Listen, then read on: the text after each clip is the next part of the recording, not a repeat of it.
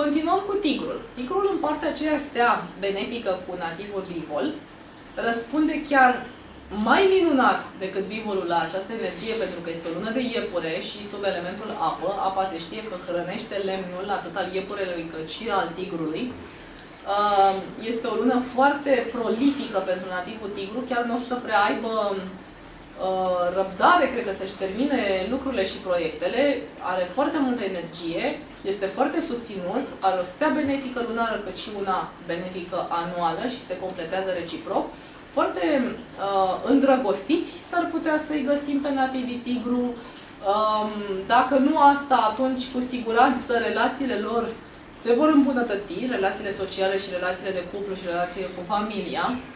Au um, mai puțină răbdare din cauza acestei energii în exces, dar este o lună de dezvoltare personală în planul lor personal, deci tot ce își doresc ei, Uh, se poate îndeplini dacă au răbdare și știu să-și gestioneze această energie și știu să-și împartă timpul așa cum trebuie în funcție de necesitățile lor personale. Uh, timpul cu familia petrecut va fi de, mai de calitate. Lor li se recomandă această amuletă ca și pentru bivol, tocmai ce v-am arătat-o la bivol. Este o amuletă de dragoste, pur și simplu, amuleta cu dubla fericire, simbolul dublei fericiri și nodul mistic tibetan, cu aceste frânjulețe aurii, da? care nu fac decât să potențeze. Să știți că ciucurii, în general în Feng Shui, potențează uh, acțiunea simbolului de mai sus. Și aici este vorba de nodul mistic tibetan, care este simbol de dragoste, de prosperitate și de protecție în același timp. Iar deasupra lui este simbolul dubla fericire, da? care reprezintă și fericirea în cuplu, și fericirea în general, într-o relație afectivă da? Um, cu cineva. Așadar, uh, tigrilor li se recomandă, în primul rând, să pornească proiecte la care s-au gândit de mult, să fie foarte activi. Eu mă uit să vă arăt că uh, și maestra noastră și noi vă recomandăm pentru tigri, ca și pentru șobolani, această amuletă a comerțului și a afacerilor, dacă nu au putut să pornească ceva anume sau s-au temut până luna aceasta, să știți că acum este momentul chiar săriște, așa cum am spus și la Bivoli. Este un moment oportun pentru a face lucruri noi, pentru a demara proiecte îndrăznețe um, și a putea să-și transforme, de fapt, ghinionul de anul trecut într-un mare noroc luna aceasta. Practic, luna aceasta este cea mai bună Uh, lună pentru ei este prima lună importantă din an foarte benefică. Pentru că februarie nu a fost, nu este, încă suntem în februarie, încă suntem în lună de, uh, de tigru, dar uh, cu influențele deja din luna de iepure. Și încă, încă mai oscilează tigrii. Ce să facă, ce să nu facă, nu sunt sigur pe ei, pentru că încă au influențele lunii de tigru, dar Vreau să vă spun că odată ce și luna solară începe, în jur de 5-6 martie, deja pot să demareze proiecte îndrăznețe. Uh, vor fi mult mai încrezători, vor fi mult mai de succes din start și când vor deschide gura, vor fi mai ascultați. Uh, trebuie să aibă, v-am spus, răbdare, pentru că ei uneori nu au răbdare să-și expună ideile sau părerile foarte succint și foarte clar, pentru că Uh, se grăbesc, se precipită, sunt mai impulsivi uh, sau din prea mult exces de zel ridică tonul, da? Și atunci este mai ușor să fie ei, cred că așa vor fi ascultați, însă uh, ei vor fi ascultați având răbdare și ascultându-i și pe ceilalți luna aceasta. Chiar pot să dărâme munții, chiar pot să aibă succes financiar, pot să fie promovați, poate să li se propună ceva foarte important la locul de muncă sau ei înșiși să iau o hotărâre uh, total la 180 de grade pentru viața lor legată de carieră și de job. De bun augur. Da? Uh, în problemele inimii există un pericol de infidelități asupra lor, deci din partea partenerului sau partenereilor, uh, ar fi foarte bine să-și folosească acest simbol dubla fericire, atât cel mare, în casă, în dormitor, pe sectorul de sud-vest sau chiar pe sectorul lor al tigrului, adică pe nord-est 3, nord-est să spunem, da, în nord-estul dormitorului, ar fi foarte benefic acela, iar dacă nu doriți un simbol mai măricel pentru casă, vă recomand să purtați amuleta cu dubla fericire pe care v-am arătat-o anterior. Dacă uh, își doresc copii, da, uh, cu atât mai bună luna, însă trebuie să le spunem ceva, trebuie să evite folosirea apei, a fântânilor, de exemplu, sau a acvarilor, luna, în luna aceasta martie a iepurelui, să evite folosirea fântânilor sau apei în general în sectorul de nord-est al casei. Da? Așadar, așadar, um, pentru nativii tigru este o lună și mai minunată decât pentru nativii bivol. Dar pentru ambele aceste zodii, o lună foarte, foarte bună, de dezvoltare mai ales. Pe cât de bună este pentru nativii tigru, pe atât de slabă este pentru nativii iepure, culmea, este luna lor, dar zic culmea pentru că, de fapt, nu ne mirăm, este o stea foarte proastă pe sectorul lor, uh, este chiar una dintre cele mai slabe luni din an, pentru că vine o lună, o stea lunară 5, steaua dezastrelor și a distrugerilor pe sectorul iepurelui, Uh, așadar afectează întregul sector. Asta înseamnă că îl afectează și pe fiul cel mare al unei case, deci primul născut băiat.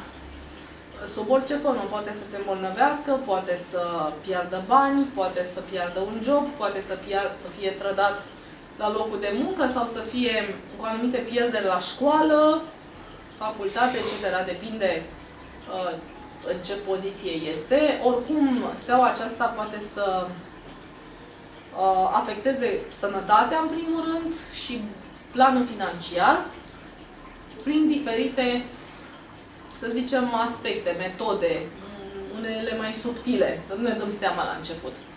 Cu toate acestea, nativii iepure își doresc să se dezvolte, pentru că este o lună de, cu energie lemn și patronată de elementul apă, care este extrem de benefic pentru energia lemnului. Apa in hrănește lemnul in, da, îl produce. Ei bine, uh, ar putea să o facă dacă își remediază anumite situații. Primul lucru cel mai ușor ar fi să aplice Feng Shui corect în casa lor, la biroul lor, dacă sunt la birou sau în ce uh, spațiu lucrează ei, iar dacă nu pot, măcar să folosească remediile uh, general știute pentru, uh, pentru stelele anuale, da? care respectiv steaua 5, care vine pe sectorul lor luna aceasta și știind că Steaua 5 este și pe sectorul calului anul acesta, sincer, le-ar trebui un remediu gen pagoda cu sutra inimii sau pagoda cu 5 elemente uh, în acele sectoare, unul din acele sectoare da, ale casei. V-am arătat-o anterior. Uh, pagoda aceasta este foarte frumoasă, are, vă explicam cum o umpleți cu pământ, când scoateți pământul, deci despre această pagodă este vorba. De asemenea, pagoda cu sutra inimii se umple cu pământ, nu se umple cu cristale, că am auzit această inepție. Nu, trebuie acel pământ, pământul care e mai murdar, deci în care se dezvoltă rădăcinile plantelor. Trebuie să-l așezăm acela în pagoda cu sutra inimii sau pagoda celor cinci elemente. De asemenea, există un remediu, remediu cu stupa pe care vi l-am arătat anterior și de asemenea tripla pagodă se numește, care este făcută pentru cai. Tot anul acesta este recomandată cailor, dar luna aceasta se recomandă și iepurilor pentru că este vorba de pagodă. Deci aici avem stupa tibetană la chakra, care este un element de protecție, o talisman de protecție extraordinară împotriva stelei 5 și în general împotriva oricărei stele nebenefice, dar mai ales a stelei 5. Um, și um, nu uitați, nu uitați pentru bietul iepuraș, fiți foarte atenți pentru că dacă nu vreți să folosiți amuleta Taisui sau nu aveți placa Taisui sau nu, nu folosiți energia Taisui cumva să o îmbunați, voi vă opuneți Taisuiului și atunci cel mai bun pentru voi este amuleta Piao, cea mai bună. De ce Piao? Piao, care este animăluțul lui Taisui, este animalul lui de companie, este cel care îl îmbunează pe Taisui, este cel care îl face să vă ia în seamă și să vă ajute, de fapt, în loc să vi se opună. Despre asta e vorba cu amuleta Piau, dar și cu remediul Piau, uh, mascul și femelă în casă, pe sectorul Piau acesta, fie îl purtați asupra dumneavoastră, fie remediul în casă, l așezați în sectorul de sud, de, de vest, mă scuzați, de uh, sectorul de vest, pentru că acolo avem taisuiu, deci chiar pe sectorul cocoșului este taisuiu. Um, dacă doriți mai multă inspirație sau pur și simplu să vă ajutați singur cu punctele cardinale, dacă doar asta doriți sau dacă doriți chiar mai mult decât atâta, adică și niște inspirație, sunt aceste busole. De ce spun inspiraționale? Pentru că au uh, simbolul înțelepciunii buvnița și al deșteptăciunii, dar sunt busole foarte ușor de folosit și reale, aici nu doar desenate, asta se învârte și vă arată punctele cardinale, sunt în mai multe culori, sunt și în culoarea un maro auriu, da? Foarte plăcute. Uh, puteți să le folosiți oricând când uh, chiar nu știți punctele cardinale și vă trebuie, mai ales dacă ați avut curiozitatea să vă calculați și numerele COA, numărul COA al dumneavoastră, să vedeți care sunt direcțiile favorabile și care nefavorabile. Oricum, iepurii trebuie să aibă mare, mare, mare grijă la relația de cuplu luna aceasta, la relația cu fiul cel mare, deci pe, mai ales dacă sunteți nativ iepure și aveți un copil, fie cocoș, fie iepure, dar cu atât mai mult dacă este băiat și doarme în sectorul de est al casei, mare, mare grijă. Eu, sincer, l-aș muta de acolo, dar dacă nu aveți unde, cel mai bine puneți remediu pagoda celor 5 elemente. Mutați-o în estul casei sau pagoda cu sutra inimii, da? Uh, avem, uh, de asemenea, pandantivul tarei verzi pentru femeile iepure, dar și pentru bărbați. Însă tara verde știm că le protejează foarte mult pe femei. Este acest pandantiv foarte, foarte plăcut și uh, foarte ușor de purtat până la urmă. Dar dacă nu doriți să fie pandantiv, îl puteți folosi și ca amuletă. Sunt de fapt două pandantive, același lucru îl reprezintă. Uh, mantra este inscripționată și pe unul și pe celălalt, doar că aici este puțin mai clar, atât pe față cât și pe spate. Este silaba uh, țam, silaba uh, tare verzi și cu mantra om tare tu tare tu resoha, în verde, tam, da, silaba tam, și cu uh, acest, acest uh, medalion, pandantic, cum doriți să-l numiți, care, sigur, se poate înlocui acest șnur. Șnurul este, uh, pentru că reprezintă amuletă, da? Se poate purta în săculeți sau la gât. Ei bine, eu potențez aceste, le arăt din nou și din nou, mereu și mereu, aceste simboluri de protecție, pentru că, până la urmă, noi ne trebuie protecție tuturor, nu? Protecție pe sănătate, protecție împotriva unor, uh, cine știe, sunt mulți oameni care au probleme pe la locul de muncă, sunt invidiați, sunt geloziți, uh, nu se gândește de bine asupra lor, sunt mulți șefi care se simt atacați, deci noi primim aceste întrebări. Uh, sau poate că unii doar așa se gândesc ei să fie protejați de la început, fără a fi atacați sau fără a fi discutați și invidiați. În orice caz, avem uh, o energie proastă, deci asupra estului, asupra iepurelui. Aveți mare grijă, nu mergeți uh, nici măcar la sală să faceți prea mult efort fizic dacă nu vă încălziți cum trebuie. Nu practicați sporturi extreme, conduceți cu mare grijă nativii iepure și uh, vă dorim noroc și să încercați să vă protejați, da? Să fiți conștienți. Uh, Dragonul are o lună mult mai bună, nu mă refer mult mai bună decât iepurile, mult mai bună decât ce a avut în luna februarie.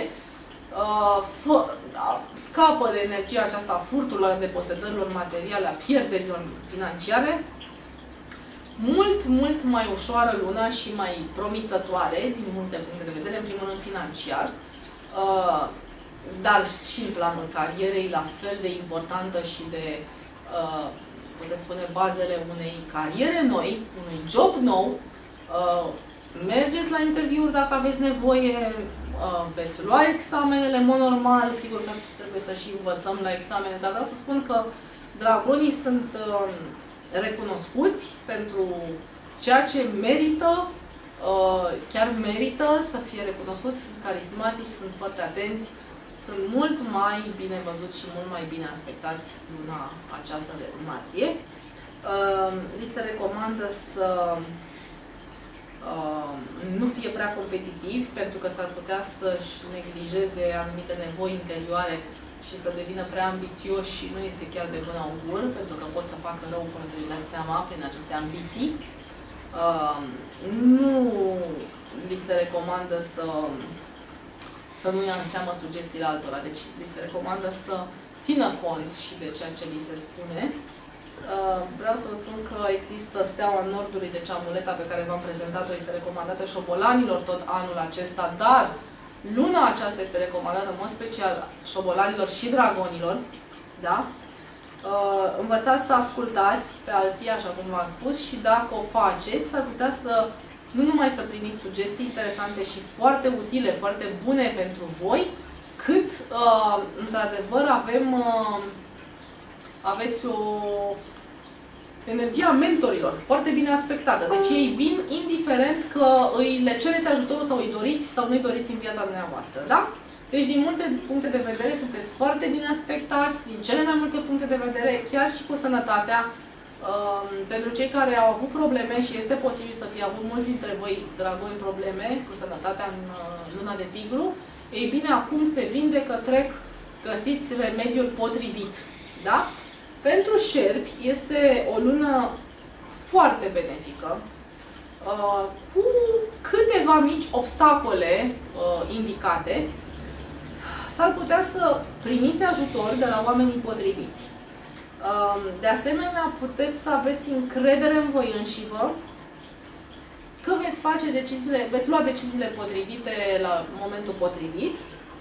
Um, deci, și dumneavoastră beneficiați de mentor sau de această energie a mentorilor, cât um, e bine să nu refuzați acest ajutor, chiar dacă sunteți întrebați, vreți să te ajut și spuneți nu, vreau să vă zic că ar fi mai bine să spuneți da, pentru că sunt momente cu aceste mici obstacole în care veți fi provocați, însă, totuși, cu toate acestea, veți fi remarcați și unii chiar vor deveni faimoși, deci mai cunoscuți publicului larg. Uh, vi se recomandă foarte mult, nativilor șarpe, un uh, cal roșu în partea de sud a dormitorului pentru a vă potența norocul de dragoste. Nu este cel mai bine aspectat și este foarte de bun augur să puteți să aplicați un remediu pentru a vă stimula dragostea sau uh, măcar fidelitatea relației pentru fidelitatea relației sunt recomandate rațele mandarin, așa cum știți. Da? Iar pentru cei care nu au partener și își doresc, li se recomandă animalul Peach Blossom, se numește animalul de dragoste, calul roșu în cazul șerpilor în sudul dormitorului. Pentru șerpi, în mod special, um, pentru că este un an de cocoș și șerpilor li se recomandă vulturii, fenicșii, uh, energia păsărilor, da? Iată placa de protecție a casei cu cei nouă păuni colorați, foarte frumos, um, care vin cu veștile bune din toate direcțiile, din toate cele nouă direcții, da? Și avem aici o placă care de fapt se poate așeza fie la locul de muncă, fie în casa noastră, până la urmă oriunde, unde simțiți voi că aveți nevoie de o îmbunătățire a acelei energii. Nu uitați de baghetele magice, aceasta este pentru carieră și job, uh, pentru a fi mai bine văzuți, are un sceptru al puterii uh, inscripționat pe ea, un rui, da? Iar aceasta, că tot uh, v-am arătat placa de protecție cu păunii, este placa de protecție a casei cu cele 8 simboluri tibetane. Da? este foarte, foarte benefică. Oriunde este pusă, schimbă vibrația în bine a sectorului, așa cum este și cu nodul mistic tibetan. Această placă însă este mai bine și mai recomandat să fie pusă la intrarea în casă, deasupra ușii de la intrare, deci cu fața spre interiorul casei. Poate o să mă întrebați de ce vorbim la șerpi despre ele, dacă numai șerpilor le trebuie. Nu, tuturor zorilor le sunt recomandate oricând și oricum. Pentru că aceste plăci nu numai că nu vă fac rău, dar ele sunt recomandate să stea la intrarea într-o casă sau pe direcția de orientare a unei case toată viața.